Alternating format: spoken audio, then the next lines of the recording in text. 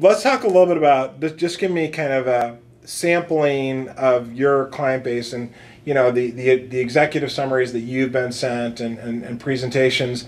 What percentage of those, as you get them kind of on an unfiltered basis, do you think are excellent and really suitable for raising capital and you know for the audience of, of an investor Sure.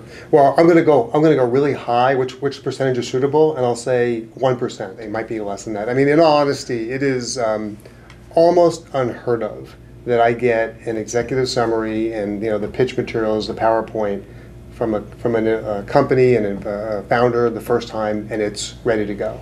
I don't know that that's.